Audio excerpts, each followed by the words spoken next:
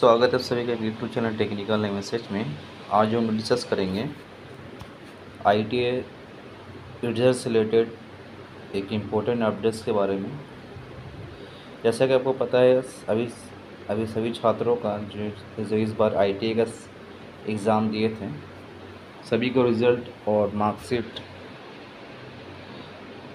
Marksheet और certificate मिल चुका होगा पोर्टल में और डीजीटी के स्किल इंडिया डिजिटल हब के पोर्टल में एक नया अपडेट्स आ रहा है, जिसमें आपको अपना मार्कशीट और सर्टिफिकेट तो देखने को मिलेगा ही। साथ ही साथ आपने जो सीबीटी एग्ज़ाम ऑल इंडिया टेट टेस्ट जो ऑनलाइन सीबीटी एग्ज़ाम दिया था, सभी टेट्स का आंसर की जो है, आपने क्या अटेंड किया था?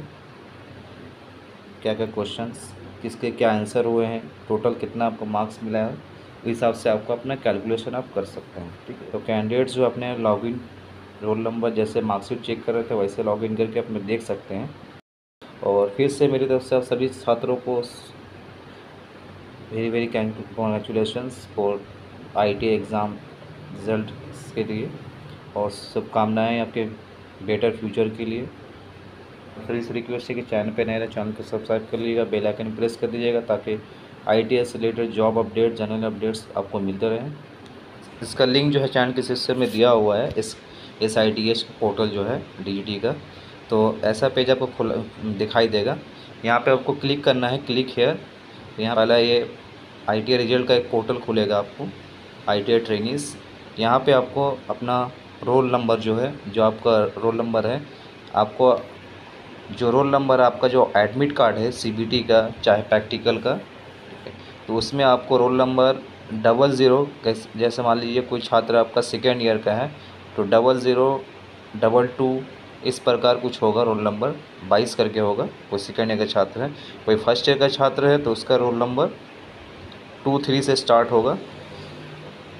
और कोई छः महीने का जो कोर्स का आईटीआई का कोर्स है, जैसे डाटा एंट्री ऑपरेटर हो गया, और भी बहुत सारे आई का कोर्स है छः महीने का कोर्स है, ठीक है? तो इस प्रकार तेईस दिखाई देगा। तो आपको ये डबल ज़ीरो को हटा करके आर आर दे करके बाकी जो नंबर है इस प्रकार double two R double two इस प्रकार आपको सभी नंबर को देना है, ठीक है? सेम इसी तरह, अगर फ़र्स्ट ईयर का कोई छात्र है, आर टू थ्री करके इस प्रकार आपको टाइप करना है। यहाँ पे आप टाइप करने के बाद आपका जो डेट ऑफ़ बर्थ है, वो एज़ पर एडमिट कार्ड के हिसाब से जो है डेट ऑफ़ बर्थ वो आपको चूज़ करना है, उसके बाद सबमिट करना है। जैसे सबमिट कीजिएगा, आपका एक अपना प्रोफ़ाइल पे डैशबोर्ड आपका खुलेगा ट्रेनिंग तो इस प्रकार आपको ट्रेनिंग प्रोफ़ाइल दिखाई देगा। यहाँ पे आपको तीन डॉट में क्लिक करना है। ये जो तीन डॉट दिखाई दे रहा है आपको। यहाँ पे ये तीन डॉट में आपको क्लिक करना है। उसके बाद ये जो तीन पैरेलल लाइन जो है, यहाँ पे आपको क्लिक जैसे कीजिएगा तो इसके लेफ़्ट साइड जो है, आपका ट्रेनिंग का डैशबोर्ड खुलेगा। ठीक? तो आपको यहाँ पे training dashboard training details view तो आपको इस व्यू रिज़ल्ट में क्लिक करना है।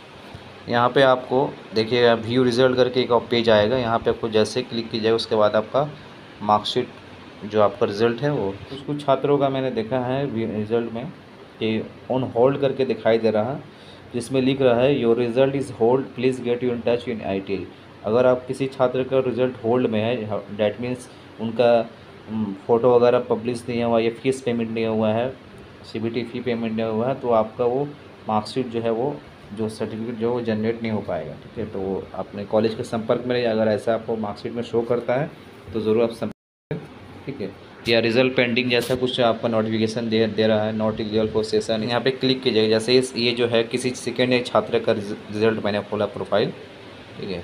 तो अगस्त 2022 आपको दिखाई दे रहा होगा, यहाँ पे ईयर टू दिखाई दे रहा है।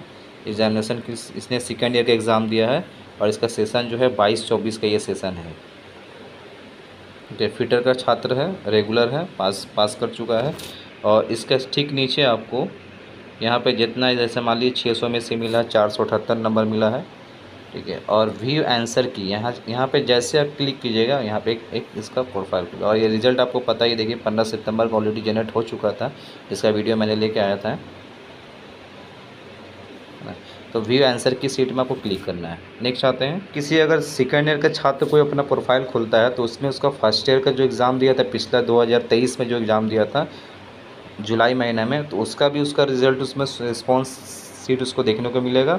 और सेकेंड ईयर का जो अभी रिसेंट दिया है, जो आपको आठ सितंबर का इसने एग्ज़ाम दिया था, वहाँ उसका भी उसका रिस्पॉन्स इसको दिखाई ठीक है, यहाँ पे देख पा रहे हैं नेम ऑफ़ ट्रेड फिटर है, छात्र रेगुलर है theory trade theory employability skill जो पेपर आपको पता है भी रिस्पॉन्स में क्लिक करिएगा। उसका जो फ़र्स्ट ईयर वाला में अगर रिस्पॉन्स क्लिक कीजिएगा तो फ़र्स्ट ईयर का आपका आंसर खुलेगा, जो आप फ़र्स्ट ईयर में आपने एग्ज़ाम दिया था। अगर सेकेंड ईयर का क्लिक करते हैं, अगर सेकेंड ईयर वाला में क्लिक करते हैं तो सेकेंड ईयर का ही आपको जो आपने क्या अटेंड किया था क्वेश्चन का आंसर क्या किया था कुछ भूल किया था रॉन्ग किया था, सब आपको दिखाई देगा। आप जैसे रिस्पॉन्स की जब क्लिक कीजिएगा तो इस प्रकार आपको पूरा ऐसा आपको दिखाई देगा, इस प्रकार। यहाँ पे देख पा रहे रोल नंबर मैंने राइट किया कैंडिडेट का डिटेल्स रजिस्ट्रेशन नंबर जो भी कैंडिडेट का नाम वो पूरा शो करेगा, जो ओरिजिनल आपने अटेंड किया था। जिस डेट में आपने एग्ज़ाम दिया था, जैसे मान लीजिए यहाँ आठ सितंबर 2024 में उसने एग्ज़ाम दिया था, उसका एग्ज़ाम था एडमिट कार्ड के हिसाब से। जिनका एग्ज़ाम था, नौ से ग्यारह का शिफ्ट था। उसने क्या क्या क्वेश्चन क्या अटेंड किया है, उस प्रकार उसको पूरा दिखाई देगा वहाँ पे, ठीक है? क्वेश्चन वन के हिसाब से क्वेश्चन आईडी नंबर के हिसाब से।